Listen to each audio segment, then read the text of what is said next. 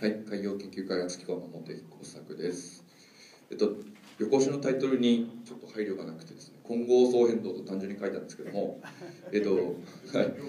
えー実は私、あの海洋のデータを最近ずっと見ておりまして、えっと、プレ 1MC2 年前と、えっと、今回、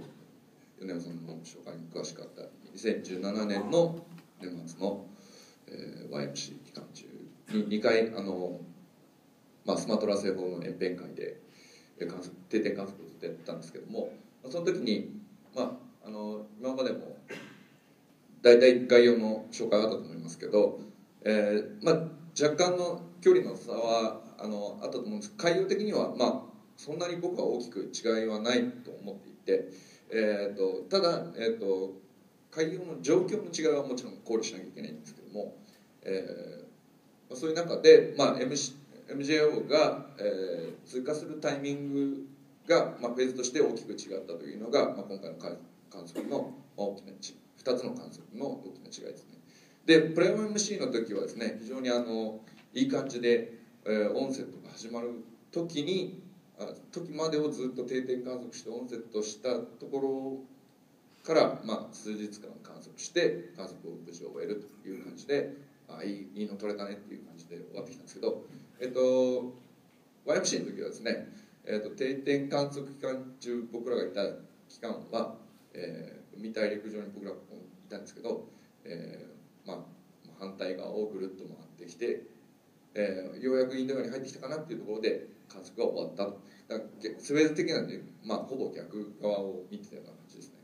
で,、えーとまあ、でもその海側としてはですね比較する意味では結構面白い観点があったかなというふうに思っていてで、えー、とざっくりですけれど、えー、とプレ YMC と YMC を、えー、と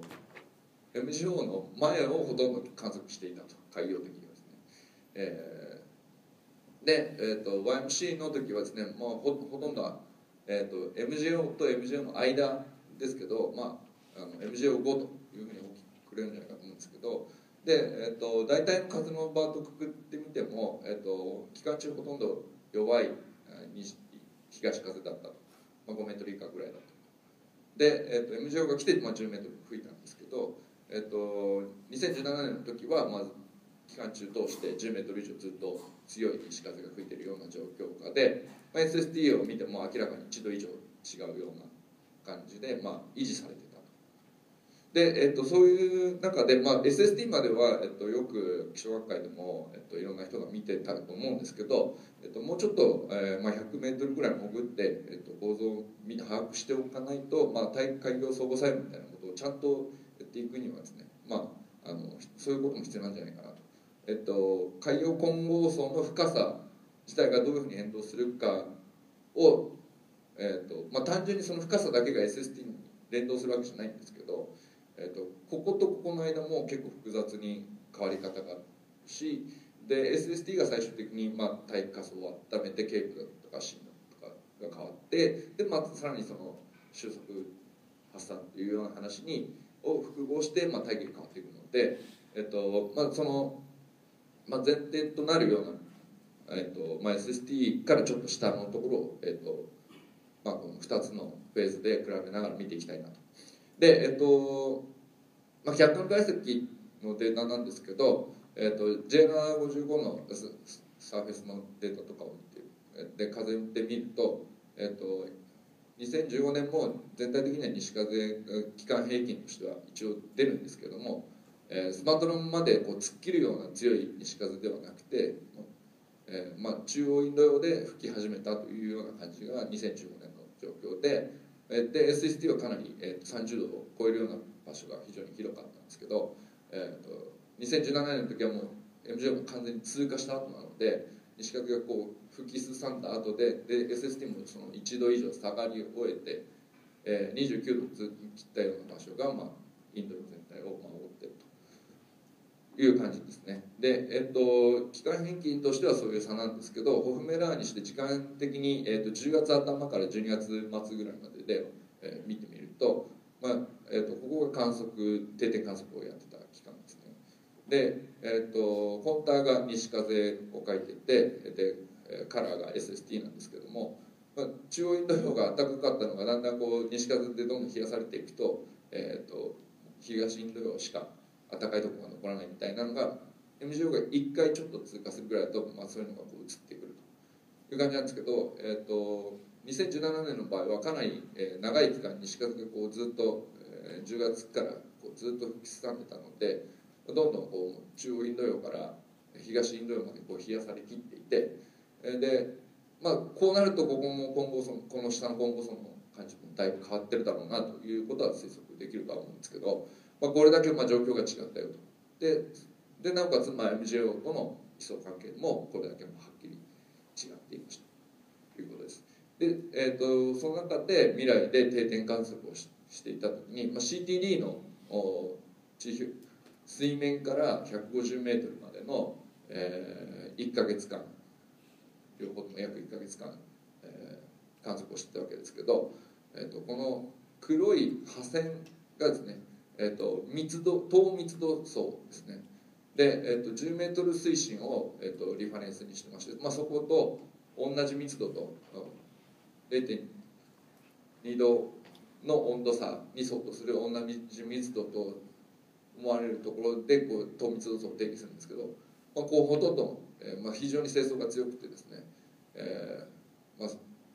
ほとんど糖密度層がないと。で M 乗が来てちょっとかき混ぜられるという感じなんですけど糖温層、えーと、塩分清掃があるので糖温層と糖密度層はちょっと差が出るんですけど、えー、糖温層で書いてもまあこんぐらいすごい浅いと2 3 0メートルぐらいです。ねで、えーと、M 乗が来た時に一気に深くなるで100メートルぐらいまで行くという形になります。でそうすると,、えーとまあ、この時はですね、えーと、要するに10メートル上にすごいあの入入ってきた日射の熱はですねどんどんどんどん溜まっていく状況にあって、まあ、風も弱いので、まあ、鮮熱検熱も奪われにくいので、まあ、ひたすらこう高い水温が維持されやすいと。で MGO のような風が強いのが来てやっとこう1度弱 SST が下がったかなというぐらいの感じだったんですけどえーと、MGO が通過した後に我々が行って1か月間定点観測すると全く違っていて、まあもうえーと、100メートルぐらいまでの水深の中で、まあ、1度から2度近くですね、えーと、もうそもそもの水温がガラッと下がった状態のまんまですねそれをなかなか復活できない。で、えー、と混合層自体は、えー、と深くなったり浅くなったりっていうのは、えー、と日射が入ってくるとえっと、なんとかこう復旧しようとしたりっていうことはあのやるんですけれども、えー、なかなか、えーまあ、混合層自体をすぐに温めるということは1か月間かけても全然起こらないと。でまあこれだけの違いがありましたと。で、えーと、特にあの表層の、えーと、大気との熱のやり取りをしそうな表層の10メートルぐらいまでだけでちょっと,、えーと温度変化をえー、追ってみますと、えっと、黒い線がですね SST エンテークの SST で赤い点で書いたのが CTD の 10m の水深の強なんで、まあ、ほとんど本当は、えっと、SST と一致しこう 10m までよく混合されてれば一致しているはずで、まあ、これ2015年の時はこんな感じだったんですけどで、えっと、サーフェスの気温がまあ2度ぐらいちょっと下がってこう、まあ、それに SST にこうと、まあ、対応してこういういう形だったんですけども2017年の時は、えーと、SST よりも、えーと、10メートル水深の水温の方がだいぶ高くて、えーとまあ、要するに地表でどんどん鮮熱で熱がひたすら奪われ続けるのでででこの破線の方のこう黒い線がですねあの地表風速なんですけどもえっ、と地表風速がちょこちょこ吹くと温度が下がって水温もちょっと下がるみたいな対応が大体見えるんですけれども、えーまあ、2017年の方は SST だけガンとこう1度2度結構、えー、1, これあの1日全部ランニングミンかけて日変化は切ってるので、えーと、1日2日ぐらいのスケールで、えーとまあ、強い風がこうある時吹いてくると,、えーと、SST はすごく下がってでもまあその中まではなかなか影響を及ぼせないような形で。えーと、要するに表層で、えーと、SST と、えー、10m 水深でこう水温逆転を作り続けて、えーと、なかなか、えーと、海の中に熱がたまらないような状況になりますでえっ、と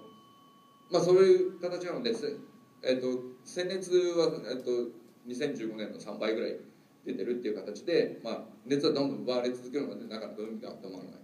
でそうすると,、えーとまあ、不安程度としてはですねあの2015年の方が気管壁としても、えー、で見るとケープはまあ倍ぐらいあると。で、えーと、大陸溶血の高度もだいぶあの期間通して、まあ、変動はあるんですけども結局ずっと低いままなんですけどもそもそもこの大量を作るっていう前提条件として大陸溶血の高度がかなり高い状態のまま、えー、維持されるとで、えーとまあ、CAN も、まあ、同じような形ですけど、えー、で、えーとまあ、こういった形でその不安定度自体をなかなかこう、えーと、大きくするように、えーと、海の中自体になかなか熱がたまり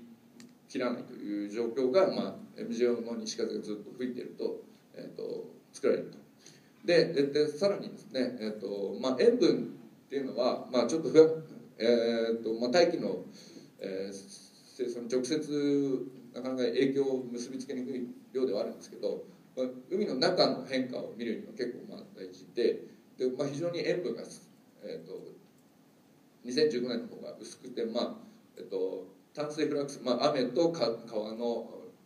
全部合計ですけど、えーと、どんどん地表に薄い塩分がまあ溜まった状態のままでそその塩分の清掃があるがゆえに温温度の生存地方メ10メートルまでの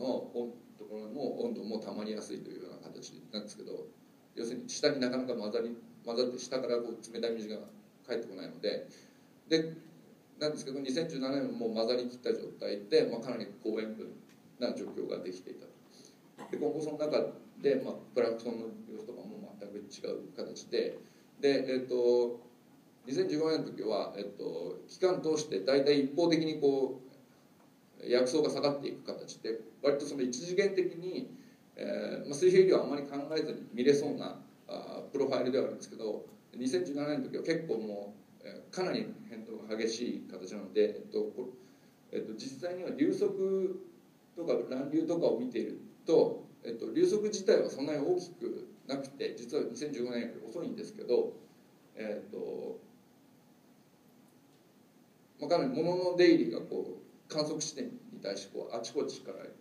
別方向を変えてやってきていそうなこう形になっていてで、えーとまあ、これこれはちょっと一次元的にこう時系列を1か月単純に見るわけにはいかないという形に見えそうです。で、えっと、ちょっとあの流速は遅いんですけれども、えっと、流行を、まあ、ちょっとちょっと分かりにくいんですけど、えっと、書いてみると、まあ、その赤系がですね、えーとえーと、2015年の時は、まあ、北から南が割と表層の方は一様に流れていくような形だったんですけど、えーと、2017年はちょっと期間を通してこうちょっと回転するような方向流行の変化が結構見られてでちょっと海洋客観解析でも見てみると,、えーとまあ、沖合こう結構きれいに、えー、南東方向に流れていったのが2017年の方は結構こうあのメソ渦っぽいものがこうどんどん入ってきてて、まあ、その流速が遅いんですけどもこういうものによって今後その構造もどんどん変わってしまうと。でこうこういう渦ができるかできないかっていうのも、えっと、西風がどれぐらいの時間吹き続けるかによって結構変わってきていそうで、まあ、そういうところも今後調べていきたいなと思います。でまああの大体対応としては、まあ、これぐらいの、えっと各パラメータですごい大きなはっきりした差がありましたということと,、えーとまあ、今後ちょっと見ていきたいなと思ってるのは、えーと、岸に沿った流れがこうちゃんと安定している状況と、まあえー、渦のようなものがこうどんどん西風の強制によって沿岸ではどんどんできていくということがありそうなので、まあ、そういうことをちょっと注目していきたいなと思っています。はい、以上です。ありがとうございます。ではご質疑お願いいたします。どうぞ。2017の時の SST と10メートル水温の比較が面白かったんですけど、はい、ありがとうございますあの、えっと、SST ってここで言ってるのはスキンなのか何センチか深くにいったところなのかえっとインティックはあの船底のやつですねえっと何メートル？5メ5普通あの普通の5メートルのインテークの水温で。で、まあ、5メートルと10メートルなので CTD の10メートルなのでほとんどまあ基本的には変わってほしくないっていうか、えーとまあ、普通はそれを前提にして10メートルリファレンスにしてその今後素計算したりとかっていうことをやるんですけど。そそれはすみませんあんまり詳しくないんですけど、はいはい。早期とか計測方法の差ということは考えられないですか？えっと、基本的にそこはそんなに大きくないですね。あのえっとあの厳密に言えば誤差はある速記誤差の違いとかはあの厳密にいくとあるとは思いますけれどあのこれ1日ランニング日にかけてその明らかに違うねみたいなことはまず今のところ確認できてないです。いかがでしょうか。はい。あ面白かったですけど、えっとえー、ビフォー MJO はアフター MJO とおっしゃあのではい。分けるあの基本分けられてるんですえっと基本はあの上空の風の強さの違いです。上空っていうか風の強さサービスそうですね。あの海がかんの、えー直接感じてるのはサーフェスのウィンドスピードだっていうのが大きいとは思います、はいでそうなるとどちらかというとこうコンセプトなんですけど、はいえっ、とエルニーニョかラニーニャかっていうそういう違いだと考えてはいえっと、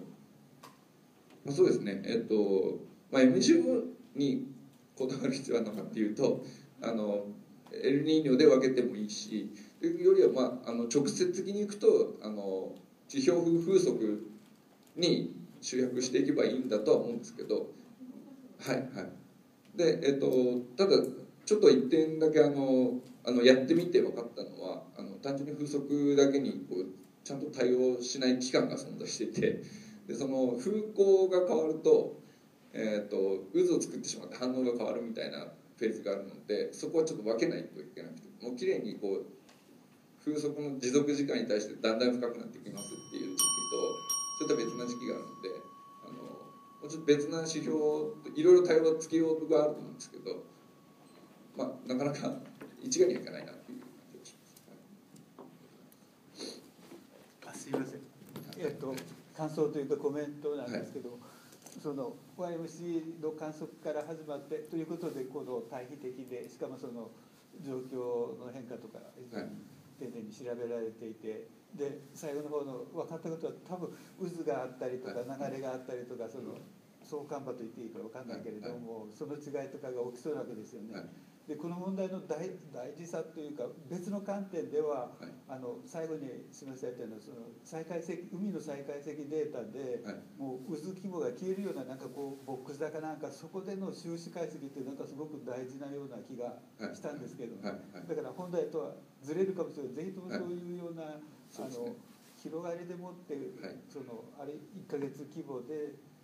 相当その時間経過が違うわけですよね。多分そうですね広く見ても違うんじゃないかと思ってぜひその辺も、あのだけではなくて追求していただい。て、あおっしゃるとりですね。あの単純にそのい海だから1か月平均してマンスリーで見るみたいなことはざっくりもできないしかといってその3日以下を全部切っていいのかっていうとそんな乱暴なことも逆にできなくてですね。でその前にそのはっきり客観解析をこれぐらい信じていいよっていう前提として、まあ、観測ってこれぐらいの時間スケールは海でちゃんと反応してるんだよっていうのを、まあ、これであのある程度見えてきたと思うので、まあ、それで分けていきたいなっていう。でおっしゃってたように、はい。その鮮烈検熱とかその収支解析とかすごくはい、そこに、はい持っていくための、まであはい、構造変化をとして見ていきたいなと思います。はい、ありがとうございました。じゃあ次荻野さんお願いします